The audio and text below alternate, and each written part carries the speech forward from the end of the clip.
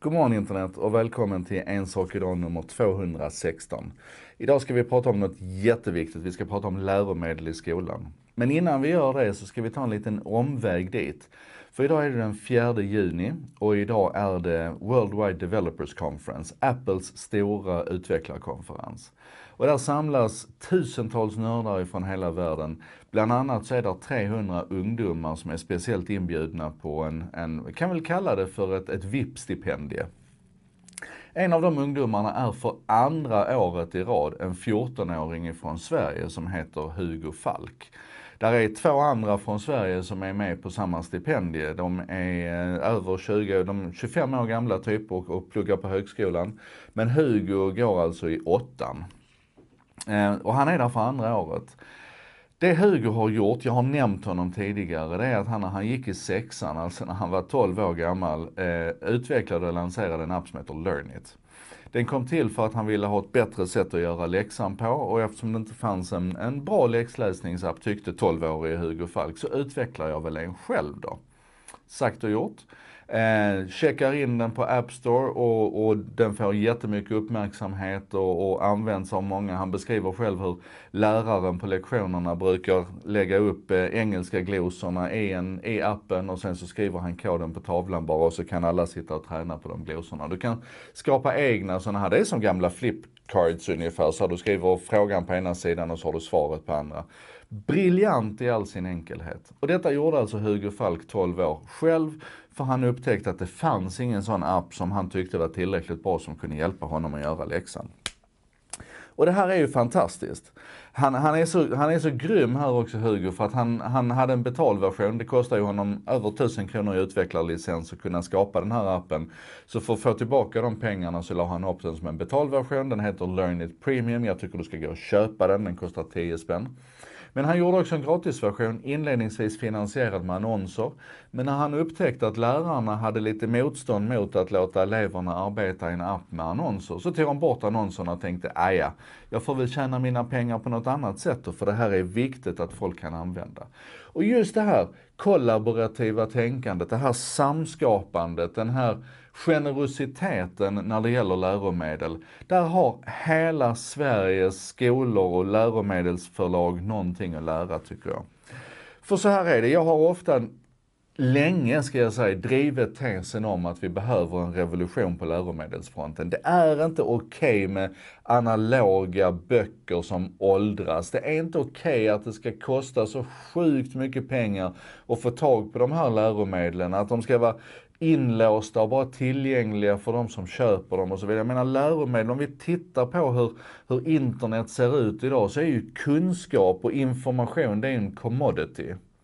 Och om vi, om vi tar den här gamla slitna jämförelsen mellan Nationalencyklopedin å ena sidan och Wikipedia å andra sidan, så är det ju bortom allt tvivel nu vem som vann den matchen. Och det är inte bara för att Wikipedia är, är gratis och har högre tillgänglighet och så vidare, även om det spelar en roll, utan det är för att den är kollaborativt skapad av oss alla tillsammans och därmed kan vara den, den bästa samlingen av kunskaper och information och, och den bästa länken ut till referenserna och de riktiga källorna där ute. Och, och den kan vara ständigt aktuell. Och i helgen så drog jag en säkring för att jag fick se en bild, någon hade tagit och plåtat av en, en tabell i en samhällskunskapsbok för, för årskurs 6 där man tittade på de politiska partierna i Sverige. Och för det första så var det rena sakfel, man hade fel symboler på de olika partierna och det är så här, vadå kvalitetsgranskning, vad fan är det jag betalar för? Men man kunde också så tydligt se det som är den traditionella läromedels och encyklopedins största problem. Att det är vinklat, att den som har satt ihop den här tabellen har en egen, en egen vinkel på det. Så om man tittade till exempel i skattekolumnen på hur man beskrev de här politiska partierna, så tror jag att alla, oavsett politisk färg, kan vara överens om att det där var inte bra beskrivet. Och det spelar ingen roll om det är insamlat via enkäter eller vad det är, för att det sitter en redaktör där som har betalt då för att göra ett jobb och leverera någon slags kvalitet som skolorna sen ska betala för. Och det är uselt. Det är sakfel och det är vinklat och det är fel på alla håll och kanter. Och den jävla boken den finns där ute fortfarande, ursäkta nu svor jag, men det här är inte bra. Så vad vi måste göra nu det är att börja trycka på här på riktigt och då kan vi inte bara bara liksom säga att andra gör fel och andra borde göra mer rätt och så vidare. Utan vi måste ta hem det här själv. Vi måste göra lite som Hugo Falk gjorde. Han står på scenen och säger, en sak ska ni ha klart för er alla kommungubbar som sitter där ute och lyssnar på mig nu. Att den viktigaste egenskapen idag det är att kunna lära sig själv. Och sätter vi igång med det arbetet och lära oss själv så upptäcker vi vilka källor som finns där ute. Vi upptäcker vad det finns för referenser, vi upptäcker vad det finns för material.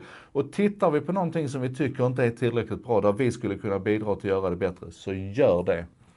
Och det första steget är, det är att engagera sig i Wikipedia. Börja förstå den plattformen, börja bidra med kunskap, känna hur vi lever upp till den här visionen om att imagine a world in which every single human being can freely share in the sum of all knowledge. Lägger vi den plattformen på ett bra sätt så kommer vi också ha förutsättningarna för en mycket bättre skola framöver. Så, go Hugo! Hmm. Det här var alltså En sak idag nummer 216. Jag heter Joakim Jardenberg. Jag producerar det här med benäget bistånd av vännerna på Bredband2. Internetoperatören som gärna lyssnar när andra snackar och som hjälper till att sprida det här goda ordet. Det textas och översätts av Contentor som är en byrå som arbetar med modern marknadsföring, redaktionella texter på nätet och översättningar. Och de ser till att fram emot lunch varje dag så ligger det här textat på svenska och översatt till engelska. Och det är ju bara helt fantastiskt. Snacka om kollaborationer och samarbete. Och så ses vi imorgon igen.